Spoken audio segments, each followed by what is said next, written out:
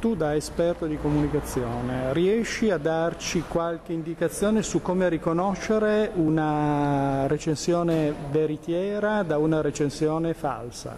Ah, soprattutto basta leggerle, nel senso che ci sono, vedete in rete vari software, vari, il buon senso prima di tutto, quindi se ci sono parole troppo esagerate, mm-hmm. quindi bellissimo o uh, bruttissimo, eh, normalmente è un tono un po' forzato, un viaggiatore normale rimane più moderato, dice sì. bello, brutto, ma non è particolarmente cattivo, mm-hmm. particolarmente buono. Non mette enfasi. Non mette troppa enfasi e poi mette dei singoli specifici dettagli, quindi magari dice che ha dormito al terzo piano, che la brioscina non aveva la crema, sì. eh, quindi è, è molto specifico su quello che dice, nomina qualche volta magari persone che sono lì, quindi è molto, è molto dettagliato sì. sulla sua propria esperienza. Sì. Altro elemento importante sono le foto, quindi sì. se ci sono delle foto la recensione di solito è più forte e quindi in qualche modo è più difficile che sia, che sia sospetta e poi appunto anche dal numero di recensioni che mette questa persona. Una persona che mette, non mette una foto generica, ha messo solo una recensione è più facile che sia in qualche modo magari sospetta rispetto certo. invece a persone, soprattutto ci sono tante persone che frequentano TripAdvisor e ci mettono la propria faccia, quindi sì. come su Facebook, sì.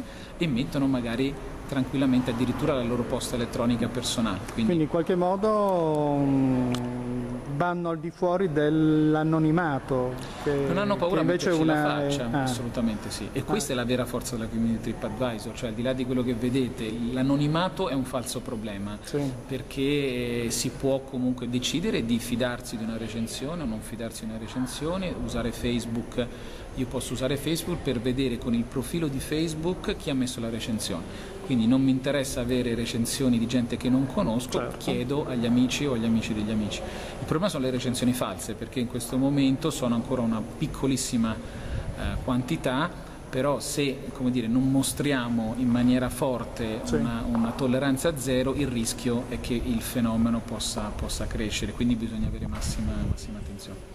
Ecco, visto che siamo nel cortile del, di Palazzo Graneri della Rocca che ospita il Circolo dei Lettori, ti faccio questa domanda un po' particolare. Okay. Secondo te Bruce Chatwin l'avrebbe usato o no TripAdvisor?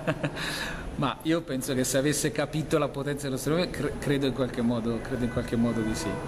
Modo di sì. Eh. Quindi ci sarebbe stata recensioni d'autore. Questo è un bel film, non è una battuta al di là della risposta, credo che ci sia spazio proprio per recensioni di un certo livello, perché sì. comunque rispetto alla massa tu attraverso anche TripAdvisor puoi vedere non solo, ripeto, gli alberghi e i ristoranti, ma quello che interessa a te. Quindi certo. io cerco la recensione sulla galleria d'arte, sul vino, sulla cioccolata, eh, sì. su trend, tipologie di, di viaggio e creo, se vogliamo, una mia community. Ci sono i forum, quindi io posso chiedere fuori dal, dalla solita recensione di TripAdvisor eh, informazioni su un determinato autore, su una determinata galleria, quindi è, è, un po' un turismo sempre più personalizzato, è il turismo per me centrato sulle mie esigenze di, di viaggiatore e non come al solito, come eravamo abituati, la solita brochurina dove la galleria è sempre perfetta, certo. è tutto certo. perfetto. Non,